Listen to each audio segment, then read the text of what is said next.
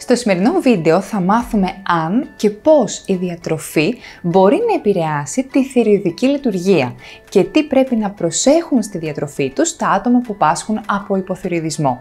Είμαι η Εύη Κολοβέρου, κλινική διαιτολόγος και πάμε να δούμε τι λέει η επιστήμη.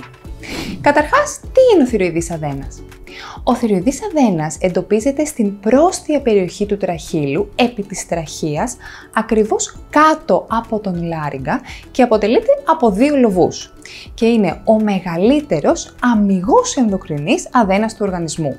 Συνολικά εκρίνει τρεις ορμόνες, δύο θηροειδικές, την TAF3 ή τριίοδοθυρονίνη όπως λέγεται και την TAF4 ή θυροξίνη που ίσως έχετε ακούσει και άλλη μια ορμόνη, την καλσιτονίνη, η οποία συμμετέχει στην ρύθμιση των επιπέδων ασβεστίου στο αίμα. Πόσα άτομα έχουν κάποια διαταραχή στο θηροειδή αδένα.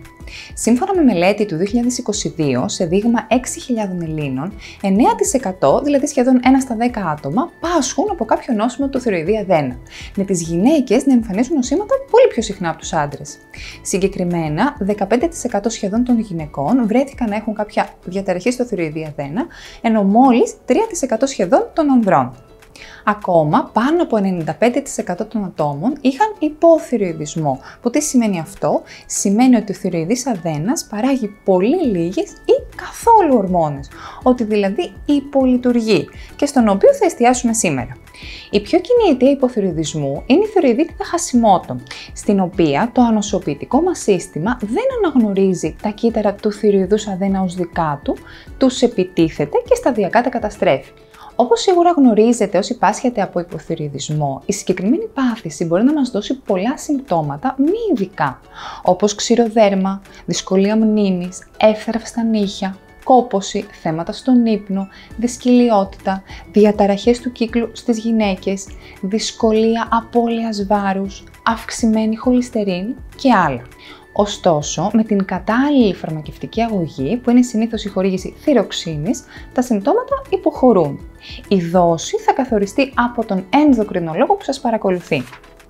Τι πρέπει να προσέχω σχετικά με τη λήψη της θυροξίνης; Η λήψη της θυροξίνης είναι πολύ σημαντικό να λαμβάνετε με άδειο στομάχι, γι' αυτό και λαμβάνετε το πρωί 30 έως και 60 λεπτά πριν από το γεύμα.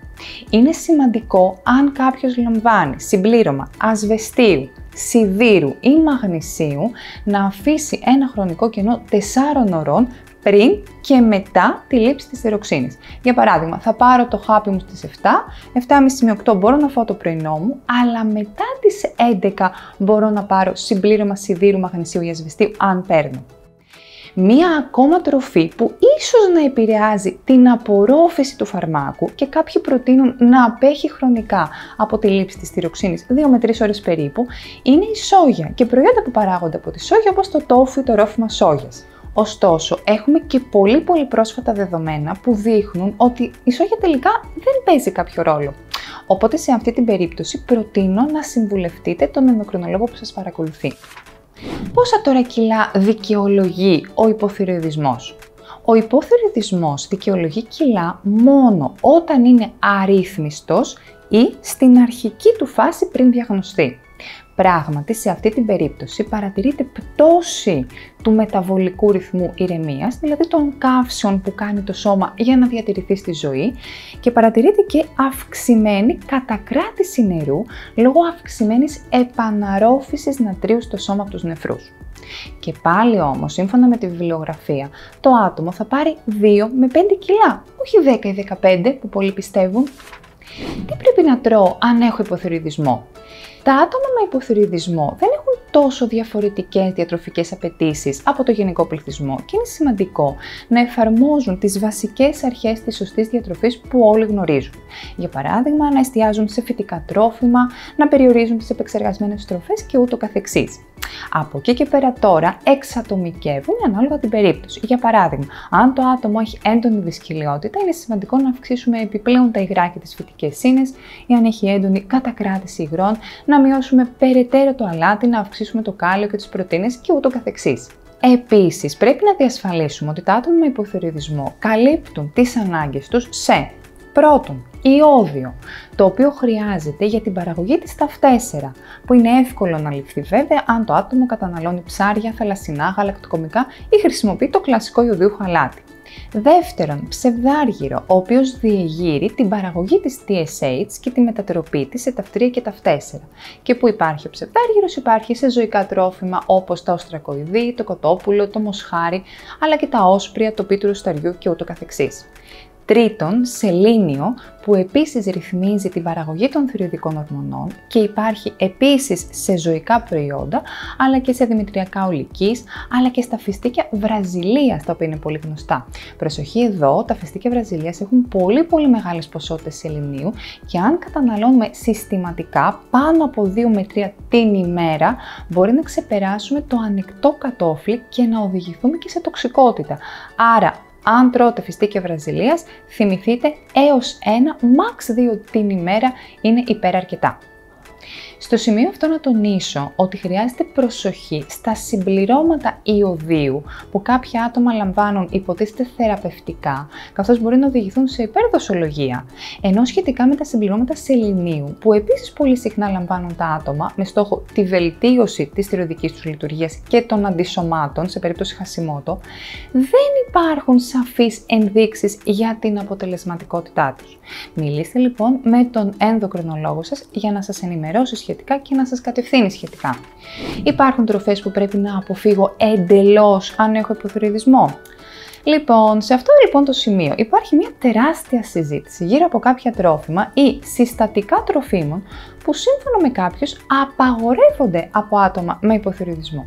Ποια είναι λοιπόν αυτά; Α. Γλουτένι. Σύμφωνα με κάποιους, τα άτομα με θηροειδίτιδα χασιμότο θα ωφεληθούν αν αφαιρέσουν από τη διατροφή τους τη γλουτένη, που τι είναι η γλουτένη, είναι μια πρωτεΐνη που βρίσκεται σε πολλά σιτηρά όπως είναι η σίκαλη, το σιτάρι, το κρυθάρι και άλλα.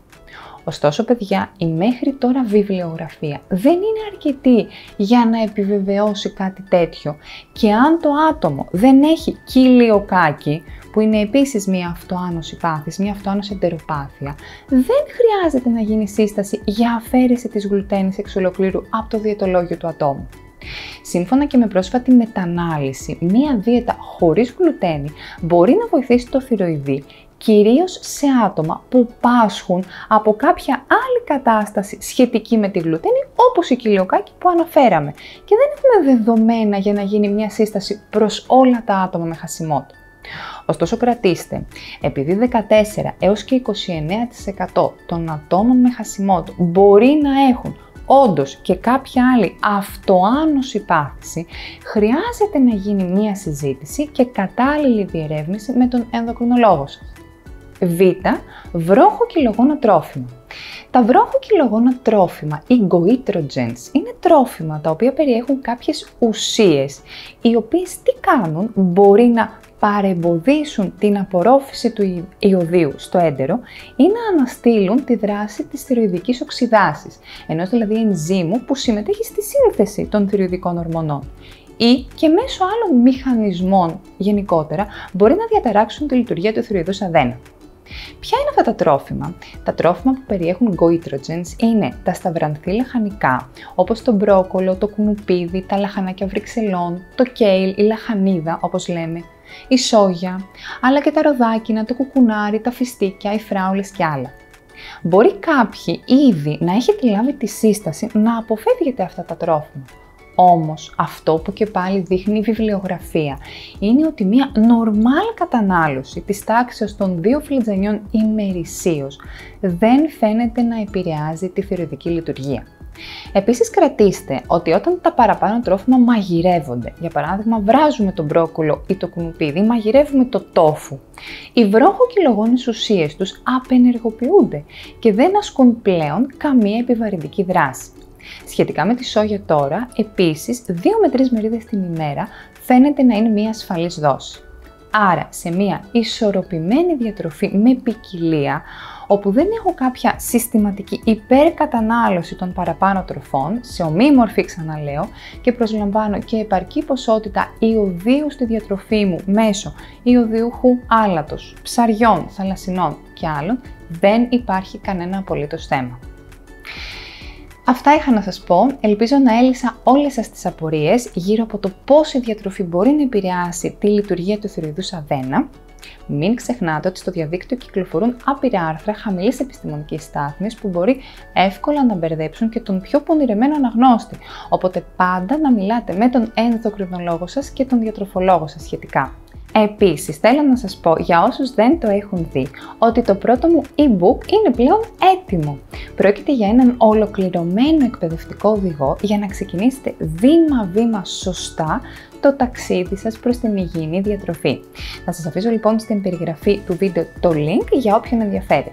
Για ό,τι άλλο χρειάζεστε σχετικά με το βίντεο και για ό,τι απορίες έχετε, εννοείται περιμένω τα σχόλιά σας και μην παραλείψετε να κάνετε εγγραφή στο κανάλι μου. Σας περιμένω στο επόμενο βίντεο σε δύο εβδομάδες να συνεχίσουμε τη διατροφική μας εκπαίδευση. Μέχρι τότε φιλιά πολλά!